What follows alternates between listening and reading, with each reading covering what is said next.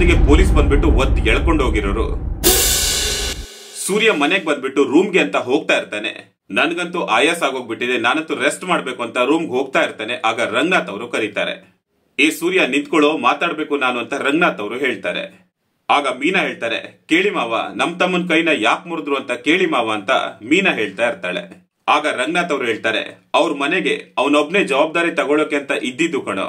ಅವ್ರ ಮನೆಗೆ ಆಧಾರವಾಗಿರೋ ಅವನೊಬ್ಬನ ಕೈ ಮುರಿದು ಬಂದ್ಬಿಟ್ಟಿದ್ಯಲ್ಲ, ಯಾಕೋ ಹೀಗೆಲ್ಲ ಮಾಡ್ದೆ? ಅಂತ ರಂಗನಾಥ್ ಹೇಳಿದಾಗ ಸೂರ್ಯ ಹೇಳ್ತಾನೆ, ಅಪ್ಪ, ನಾನೇನಾದ್ರೂ ಮಾಡಿದೀನಿ ಅಂದ್ರೆ ಅದಕ್ಕೊಂದು ಅರ್ಥ ಇರತ್ತೆ. ಸುಮ್ನೆ ನಾನ್ ಹಾಗೆಲ್ಲ ಮಾಡಲ್ಲ ಅಂತ ಹೇಳ್ತಾ ಇರ್ತಾನೆ ಸೂರ್ಯ.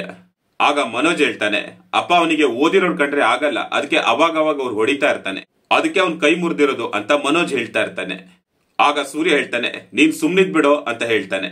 ಆಗ ರೋಹಿಣಿ ಅವ್ರು ಹೇಳ್ತಾರೆ, ನೀನ್ ಸುಮ್ನಿದ್ ಬಿಡು ಮನೋಜ್, ಆಮೇಲೆ ನಿನ್ ಕೈ ಬಂದ್ಬಿಟ್ಟು ಮುರಿದು ಬಿಡ್ತಾನೆ, ಅವ್ನ್ ದೊಡ್ಡ ರೌಡಿನೇ ಅಂತ ರೋಹಿಣಿ ಅವರು ಹೇಳ್ತಾ ಇರ್ತಾರೆ. ಆಗ ಸೂರ್ಯ ಹೇಳ್ತಾನೆ, ಇವಾಗ ನೀವೇನಾದ್ರೂ ಸುಮ್ನಿರ್ಲಿಲ್ಲ ಅಂತಂದ್ರೆ ನಾನು ಸುಮ್ನಿರಲ್ಲ ಅಂತ ಹೇಳ್ತಾ ಇರ್ತಾನೆ. ಆಗ ರೋಹಿಣಿ ಅವ್ರು ಹೇಳ್ತಾರೆ, ಮಾವ, ಇದು ದೊಡ್ಡ ಕೇಸು. ಕೈ ಮುರಿದಿರೋ ಬಂದ್ಬಿಟ್ಟು ಅಟೆಂಪ್ಟ್ ಟು ಮರ್ಡರ್. ಬೇರೆಯವ್ರೇನಾದ್ರೂ ಆಗಿದ್ರೆ ಇಷ್ಟೊತ್ತಿಗೆ ಪೊಲೀಸ್ ಕಂಪ್ಲೇಂಟ್ ಕೊಟ್ಟಿರೋರು, ಇಷ್ಟೊತ್ತಿಗೆ ಪೊಲೀಸ್ ಬಂದ್ಬಿಟ್ಟು ಒದ್ ಎಳ್ಕೊಂಡು ಹೋಗಿರೋರು. ಅಂತ ರೋಹಿಣಿ ಹೇಳಿದಾಗ ಸೂರ್ಯ ಹೇಳ್ತಾನೆ, ಪೌಡ್ರಮ್ಮ, ಈಗ ತೆಪ್ಪಗಿದ್ರೆ ಸರಿ ಅಂತ ಹೇಳ್ತಾ ಇರ್ತಾನೆ ಸೂರ್ಯ.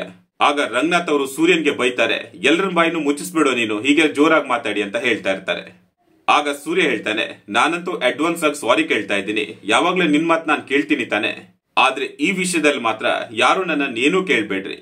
ಯಾರು ಈ ವಿಷಯದಲ್ಲಿ ಏನೂ ಕೇಳ್ಬೇಡಿ ಅಂತ ಸೂರ್ಯ ಹೇಳ್ತಾ ಇರ್ತಾನೆ. ಆಗ ರಂಗನಾಥ್ ಅವ್ರು ಹೇಳ್ತಾರೆ, ಯಾಕಪ್ಪ, ಅದೇ ಯಾಕೆ ಹೊಡೆದೆ? ಏನ್ ವಿಷಯ ಅಂತ ಹೇಳು. ಹೊಡಿಯೋಕೊಂದ್ ಕಾರಣ ಬೇಕಲ್ವಾ? ಇವಾಗ್ಲೇ ಅವ್ರ ಮನೆಗೆ ಹೋಗ್ಬಿಟ್ಟು ಸಾರಿ ಕೇಳ್ಕೊಂಡ್ ಬಾ ಅಂತ ರಂಗನಾಥ್ ಅವರು ಹೇಳ್ತಾರೆ. ಆಗ ಸೂರ್ಯ ಹೇಳ್ತಾನೆ ಆಗಲ್ಲಪ್ಪ ನನ್ನ ಹತ್ರ ಸಾರಿ ಕೇಳೋಕೆ ಅಂತ ಹೇಳ್ಬಿಡ್ತಾನೆ. ಆಗ ರೋಹಿಣಿ ಮೀನಾ ತಮ್ಮನ್ ಬಗ್ಗೆ ಕೆಟ್ಟದಾಗ ಮಾತಾಡ್ತಾ ಇರ್ತಾಳೆ. ಅವನ್ ಎಷ್ಟೇ ಆದ್ರೂನು ಗಾಡಿಗಳನ್ನ ಕದಿಯೋನಲ್ಲ ಅಂತ ಹೇಳಿದಾಗ ಮೀನಾಗಂತೂ ಕೋಪ ಬಂದ್ಬಿಡತ್ತೆ. ಮೀನಾ ಹೇಳ್ತಾರೆ, ತೆಪ್ಪಗಿರೋದ್ನ ಕಲ್ತ್ಕೊಬಿಡು, ಸುಮ್ನೆ ಏನೇನೋ ಮಾತಾಡ್ಬೇಡ ಅಂತ ಮೀನಾ ಹೇಳ್ತಾರೆ. ಆಗ ಶಾಂತಿ ಹೇಳ್ತಾರೆ, ಏನೇ ವಾಯ್ಸ್ ರೈಸ್ ಮಾಡ್ತಾ ಇದೀಯಾ?